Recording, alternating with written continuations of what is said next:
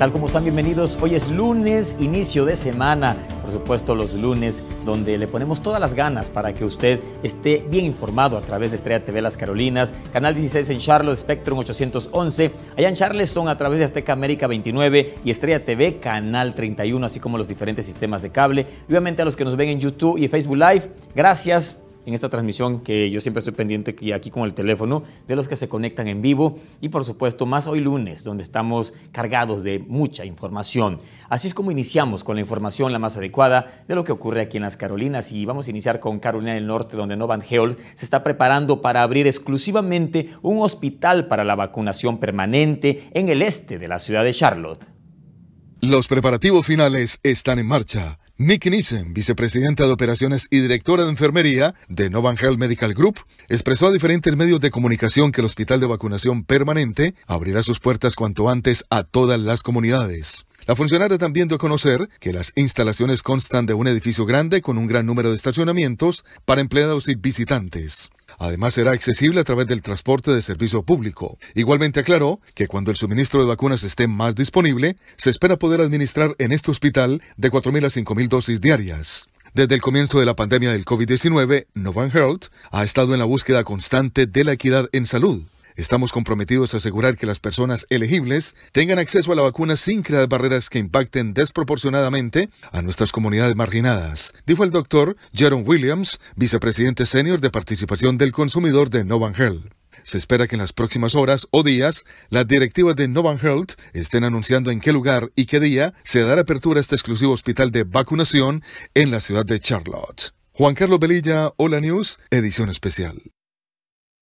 Y hablando de la misma vacuna, pero ahora en Carolina del Sur, siguen las complicaciones para los proveedores de vacunas en este estado. De acuerdo con varios informes, problemas con las condiciones climáticas serían las razones por las que no se está cubriendo la cantidad necesaria, por supuesto, de dosis para llegar a la población que ya tiene cita para ser vacunada. De esto nos habla Andri Mora en vivo desde Carolina del Sur. Adelante, Andri, con la información. ¿Qué tal? Nuevamente saludándote. Los proveedores de vacunas de Carolina del Sur están experimentando diferentes niveles de dificultad para recibir envíos de estas, ya sea por retraso climático o por suministro insuficiente de dosis destinadas a segundas citas. El Departamento de Salud y Control Ambiental informó recientemente que se dieron cuenta que hay muchas personas que necesitan tanto la primera dosis como la segunda en este momento y algunos proveedores no pueden tenerlas suficientes para sus pacientes como desearían. La agencia dijo que es posible que estos proveedores deban adaptarse en consecuencia. Necesitaremos instalaciones al menos a corto plazo en las próximas dos semanas para utilizar algunas de sus primeras dosis para cubrir algunas de esas clínicas de segundas dosis y es posible que también tengan que posponer algunas de sus clínicas de segundas dosis, dijo Nick Davinson, adjunto principal de salud pública del Departamento de Salud y Control Ambiental del Estado. Davinson dijo que esto puede deberse a que los proveedores ya están utilizando sus asignaciones de primeras dosis para citas de segunda dosis y viceversa. Indicó que por eso es importante importante que las instalaciones mantengan inventarios separados. Los proveedores de Carolina del Sur también han experimentado retrasos en los envíos de vacunas debido al mal tiempo en los centros de envío de los que depende el Estado para obtener la vacuna. El Departamento de Salud y Control Ambiental de Carolina del Sur dijo que esto puede significar que algunos proveedores deban reprogramar las citas debido a retrasos que se han prolongado la semana pasada y hasta esta semana. Sin embargo, Davinson dijo que casi todos los envíos de primera y segunda dosis se han entregado. En cuanto a los pacientes, la epidemióloga estatal, la doctora Linda Bell, explicó que es importante recibir la segunda dosis y hacerlo cuando sea posible. En condiciones ideales, las personas recibirían su segunda dosis de la vacuna tres o cuatro semanas después de la primera. Desde Columbia, Carolina del Sur, para Hola News Edición Especial, reportó Andri Mora. Gracias, Andri. Hablando de este mismo tema de la vacuna, pero regresando aquí a Carolina del Norte, precisamente en el condado de Forest, en este estado, bueno, se empezará a vacunar contra el COVID-19 a los empleados escolares, siguiendo así el plan de fases impuestos por el Departamento de Salud del estado. En este esfuerzo conjunto se han unido tres instituciones. Enrique Catana nos informa. El Departamento de Salud Pública del Condado de Forsyth, Novan Health y Wake Forest Baptist Health se están asociando para expandir las vacunas contra el COVID-19 a los empleados escolares y proveedores de cuidado infantil a partir del 24 de febrero.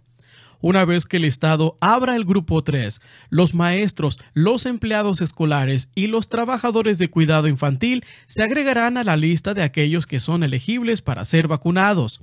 Continuarán las vacunas para los trabajadores de la salud y las personas mayores de 65 años de edad. Las tres organizaciones trabajan juntas para coordinar las dosis de vacunas, tanto el personal y las citas para ayudar a satisfacer la demanda, que en este momento supera con creces el suministro de vacunas asignado por el Estado. Platicamos con la doctora Reina Rodríguez, quien trabaja para el Departamento de Salud Pública del Condado de Forsyth, quien motiva a la comunidad a vacunarse.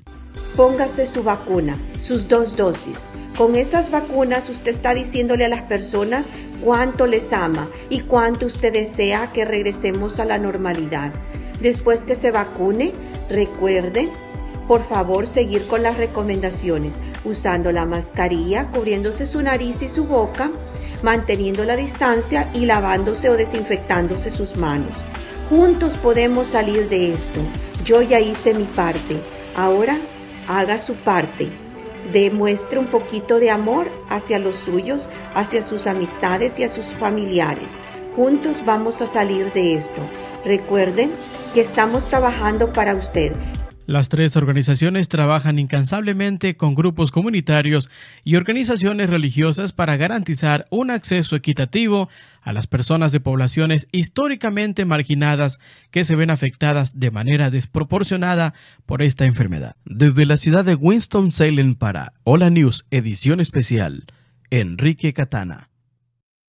En noticias internacionales, más de 200 millones de dosis de vacuna contra el COVID-19 fueron administradas por 107 países y territorios. 45% de ellas fueron administradas en los países ricos del G7, pese a que estos solo albergan el 10% de la población mundial. Nos vamos en vivo hasta la capital mexicana con nuestro reportero Alejandro Roldán. Adelante, Alejandro, con la información.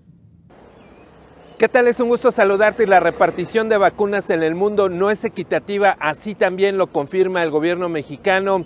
Sin embargo, en este país no se ha vacunado ni el 1% de su población. Veamos. De acuerdo con una agencia de noticias europea, hay siete países del mundo, entre ellos los Estados Unidos, que están acaparando las vacunas para combatir el coronavirus. El presidente de México señaló que de 200 naciones, solo 80 tienen acceso a las vacunas, mientras que 120 no lo tienen. Esto es lo que estamos eh, planteando en la ONU, que no se acaparen las vacunas, que se distribuyan, que alcancen a todos en México el número de personas fallecidas por coronavirus rebasó las 180 mil, mientras que se tienen confirmadas más de 2 millones de personas positivas. Entre estas está el funcionario que está encargado de la estrategia para combatir este mal en este país. Así lo dio a conocer a través de su cuenta de Twitter. Él ha expresado síntomas de COVID eh, leve y obviamente estará teniendo un seguimiento clínico epidemiológico en los siguientes días. Mientras tanto, este fin de semana llegó un cargamento con 200.000 vacunas Sinovac a la Ciudad de México, procedente de Hong Kong, para aplicarse según las autoridades federales en el Estado de México. Durante su llegada, el canciller mexicano dijo que llegarán un total de 10 millones de estas vacunas en los próximos días. Según las autoridades de salud, hasta el momento en este país se han aplicado 1.547.158 dosis. Sin embargo, la aplicación de estas vacunas para adultos mayores fue condicionada a mostrar su credencial para votar y datos personales, por lo que se hizo una denuncia pública. Varios analistas señalan que se está utilizando el proceso de vacunación con fines electorales. En Ciudad de México, Alejandro Roltán, Hola News, edición especial. Y de noticias internacionales, ahora regresamos aquí a Carolina del Norte. Tal como fue establecido, el día de hoy regresaron a clases presenciales estudiantes de las escuelas medias y secundarias del sistema escolar de aquí del condado de Mecklenburg, aquí en Charlotte, Carolina del Norte. De esto nos va a hablar nuestro reportero Galo Ver, quien está en vivo desde un punto de aquí de la ciudad. Adelante, mi querido Galo. Después de meses de silencio por la pandemia de COVID-19, las escuelas de Charlotte Mecklenburg volvieron a recibir a miles de estudiantes en sus edificios. Esta vez fueron los planteles intermedios y secundarios que dieron la bienvenida a los estudiantes, los cuales regresaron tomando las respectivas medidas de bioseguridad y de protección contra el coronavirus. El superintendente del CMS, Ernest Winston, agradeció al personal, maestros, conserjes, conductores de autobuses y directores por todo el esfuerzo que han hecho en equipo para el regreso a las escuelas. De los más de 147 mil estudiantes que tiene registrados el CMS en el periodo 2020-21, menos de 60 mil permanecerán en enseñanza remota completa hasta final del año escolar. Los estudiantes que regresaron a los edificios tienen que usar máscaras faciales, mantener distanciamiento social y se chequeará la temperatura todos los días. Cada escuela cuenta con estaciones de desinfección para manos. Winston, en diálogo con Hola News, dijo que la limpieza al interior de los edificios se hará todos los días, después de la mañana y en la tarde, mientras que los buses escolares serán desinfectados dos veces diariamente. El retorno de los estudiantes ha sido por grupos y no estarán toda la semana acudiendo a las escuelas, ya que estarán alternando con la enseñanza virtual. Los estudiantes que regresen deberán completar un formulario de evaluación de síntomas todos los días antes de que comience la clase, el cual será completado en línea o en formularios que tendrá el personal de las escuelas. El superintendente Winston también nos indicaba de que van a chequear en los próximos días y semanas cómo se está manejando este regreso a clases, ya con los estudiantes primarios que lo hicieron la semana anterior, ahora con los estudiantes de las escuelas intermedias y secundarias. En la ciudad de Charlotte, Galo Beir, Hola News, edición especial. Gracias Galo por esa información. Y bueno, ha llegado el momento de pasar a la sala de redacción con nuestra reportera Alejandra Gallardo, quien siempre está buscando las últimas noticias de lo que ocurre aquí en las Carolinas. Nos vamos en vivo con ella. Alejandra, lista con la información. ¿Cómo están? Muy buenas tardes para todos en una edición más de Hola News, edición especial. Efectivamente, ya estamos en la sala de redacción, hemos revisado la información más relevante de último momento y aquí les presentamos los detalles. Un hombre acusado de secuestrar a una adolescente a principios de este mes de su casa en el condado de Davidson murió luego de un tiroteo y una persecución de autos con la policía de Arkansas, dijeron las autoridades. Los agentes dijeron que su investigación comenzó el 11 de febrero, cuando Savannah Childress, de 14 años, fue reportada como desaparecida de su casa en el área de Canaan Church Road de Denton, a unas 60 millas al norte de Charlotte. Supermercado El Rey, el rey de los precios bajos. Tiene para ti lo mejor en abarrotes mexicanos, centroamericanos y sudamericanos. En nuestra carnicería encuentras los mejores cortes. Además, contamos con servicio de envíos de dinero, pagos de biles, recargas nacionales e internacionales. Estamos abiertos todos los días. Visítanos en el 6300 South Boulevard en Charlotte, 704-557-3980. Supermercado El Rey, el rey de los precios bajos. Disfruta de la buena música. Música sin comerciales. Tres géneros. Programación en vivo. Pop rock. quién te bañará. Amor con tantos besos. Reggaeton. yo y cama suena y suena. Tropical. Amigos con derecho, derecho, derecho. Amigos con permiso. Download it now. Llévala a todas partes. Ahora disponible en tu App Store. Latina 102.3 FM, tu música. Somos hispanos, somos guerreros y juntos podemos combatir al coronavirus. Cada uno tiene que hacer su parte, cada uno tiene que aportar su granito de arena para crear la montaña que lo detenga. Mantén la distancia física, pero estemos más unidos que nunca. Ya sabemos que la higiene lo mata, tus manos limpias lo detienen. Quédate en casa, disfruta tu familia Trabajaste mucho para tenerla. Hay que hacerlo por los más chiquitos, por nuestros padres, por los que más quieres, por los que no conoces y por los que menos tienen.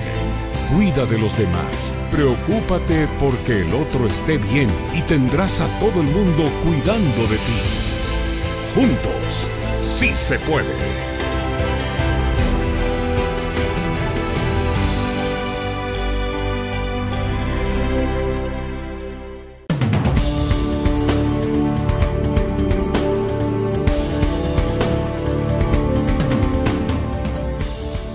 Estamos de vuelta aquí en Hola News, edición especial y avanzamos con noticias ahora en el ámbito nacional. Los republicanos agotan todas las posibilidades que hay para frenar el plan de estímulo de 1. billones de dólares impulsado por el presidente de aquí de los Estados Unidos, Joe Biden, y los demócratas. Juan Carlos Velilla nos detalla.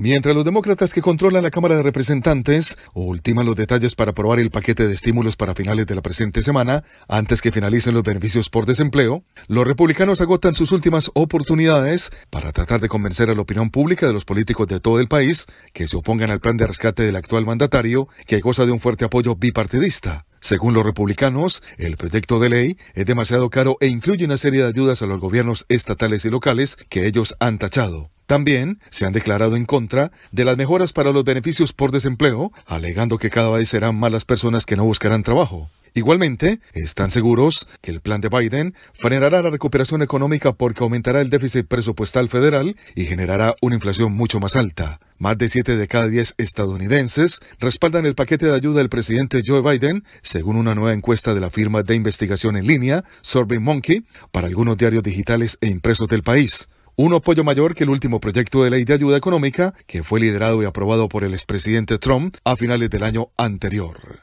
Juan Carlos Velilla, Hola News, edición especial.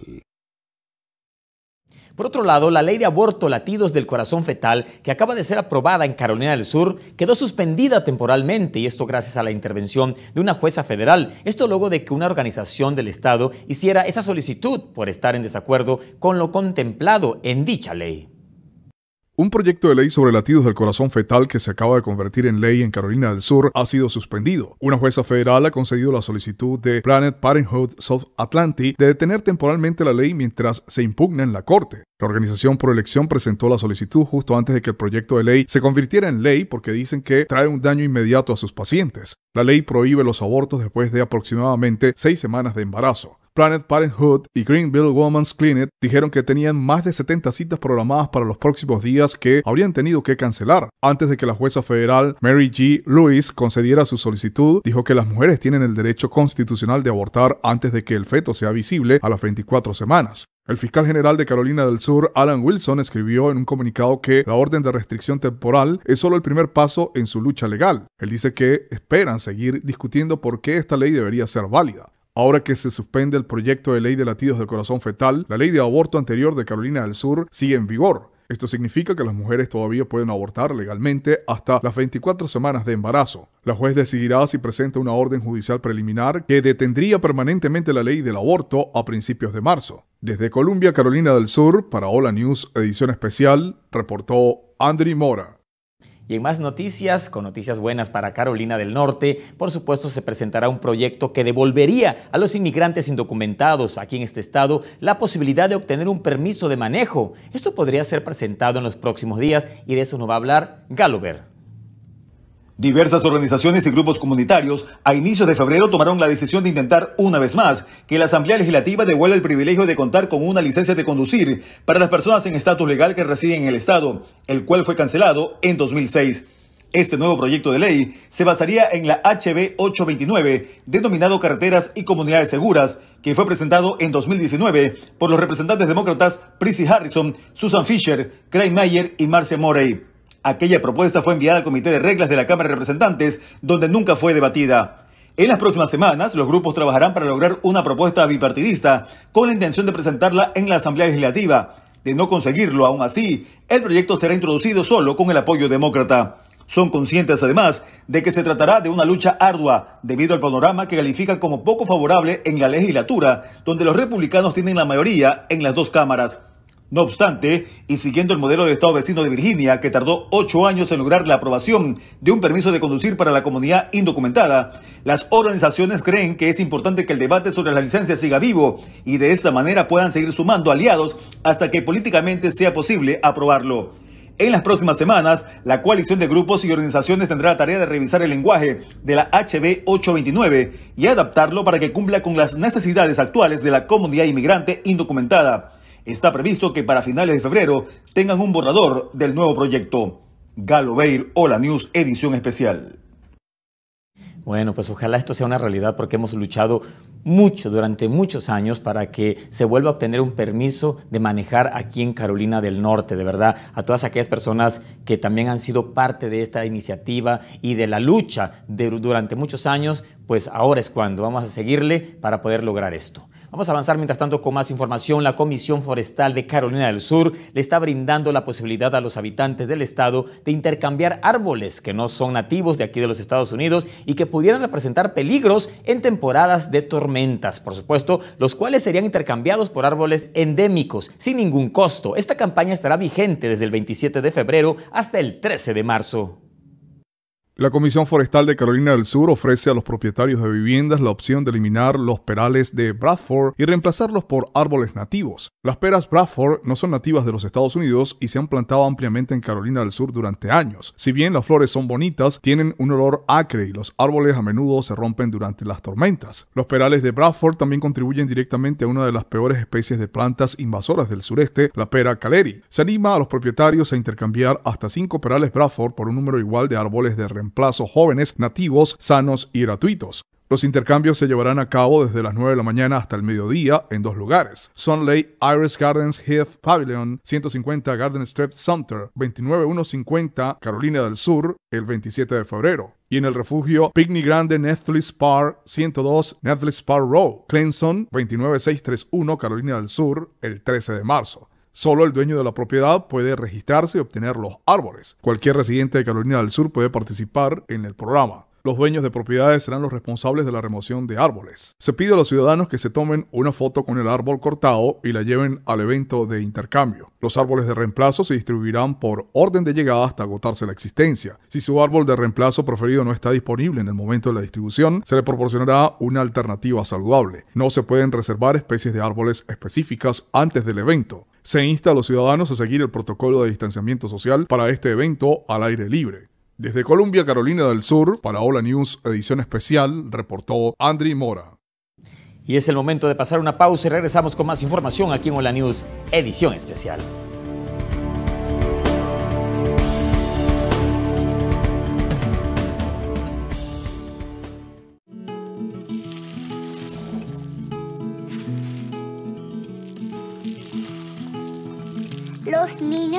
Pasar 8 minutos decorando a su hermano pequeño.